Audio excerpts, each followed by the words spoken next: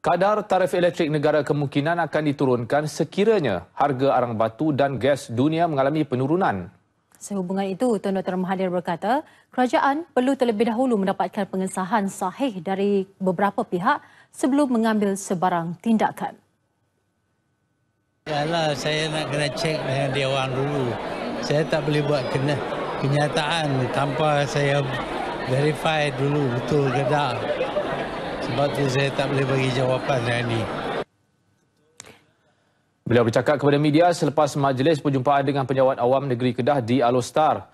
Menurut laporan agensi berita luar negara pada Februari lalu, harga gas asli cecair LNG Amerika Syarikat susut lebih 40% sejak Jun tahun lalu kepada 6.50 dolar Amerika. Manakala harga kargo arang batu bagi ekspor dari terminal Newcastle, Australia turun buat pertama kali bagi sukuan sejak pertengahan 2018 kepada bawah 90 dolar Amerika setiap satu tan.